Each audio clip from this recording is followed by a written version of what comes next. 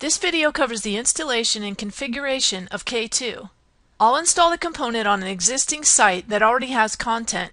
You can also install K2 on a brand new site with no content. Download the latest version from getk2.org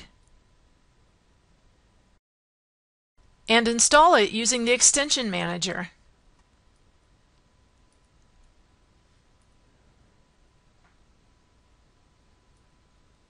Notice that K2 automatically installs not only the component, but also the required modules and plugins. It's nice that you don't have to install each of those separately. There are six site modules, two administrator modules, and four plugins. If you take a look at the plugin manager and search for K2, you see that the plugins have all been enabled. From the Module Manager, the six site modules have been added, but they're not published. The K2 Login module will be eliminated in later versions of K2. The User module should be used instead, so I'll delete the K2 Login module. I'll cover each of these modules as we go through the course. The two administrator modules can be seen in the control panel.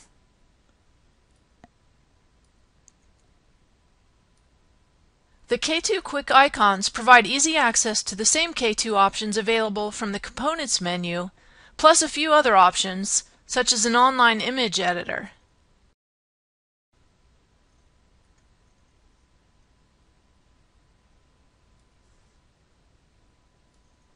Since I'll be using the K2 icons a lot, I'll move them above the normal Joomla icons.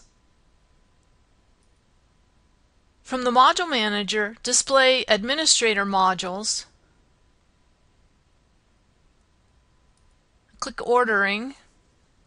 The icons are displayed in the icon position, so I want to move the quick icons up to the top. I'll enter a zero there and save that.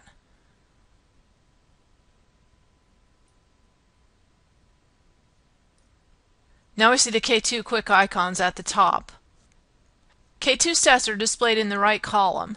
This module provides statistics about the K2 content, such as popular items and latest comments. Since we're just getting started, we obviously don't have any statistics to show yet. Click the K2 icon or the K2 menu option to go to the dashboard. The first thing we'll do is take a look at the component parameters. I won't cover all these in detail. I'll just hit the highlights for now and come back later to any that we need to take a closer look at. I'll keep most of these settings at their default values. As I work through the course, I may come back and adjust some of the settings. Layout and Views allows you to set options for what is displayed on the user pages, tag listings, and search and date listings. Under Content, you have settings to control the formatting of RSS feeds. Content Cleanup allows you to enter HTML tags that should be allowed or those that should be stripped out of item text. Under the Images tab, enter the quality to use for uploaded images as a percentage. You can also specify various image sizes that K2 will resize uploaded images to extra small, small, medium, large, and extra large. Also generic image, category, and avatar sizes.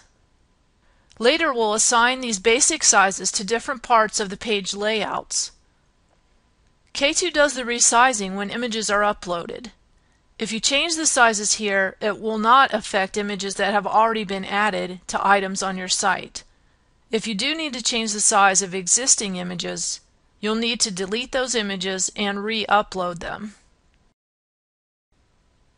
K2 stores uploaded files in the Joomla Media directory in the K2 folder. You have attachments, categories, galleries, items, users, and videos. The Social tab allows you to enter code for social media sharing and a Twitter username. Under Comments, you can control who is permitted to comment and whether comments should be auto-published. You have two options to control spam under the Advanced tab. You can enter a reCAPTCHA key or enable Stop Forum Spam integration. From the Front-End Editing tab, you can enable or disable front-end editing and control individually which items users have access to. Last is the Permissions tab, which uses the Joomla ACL to allow you to control permissions by user group to the K2 backend. You can easily control front-end access using K2 user groups, which I'll cover in a later tutorial. If you're feeling a little bewildered by K2 so far, don't worry. We'll start putting it to use by building a basic blog in the next session.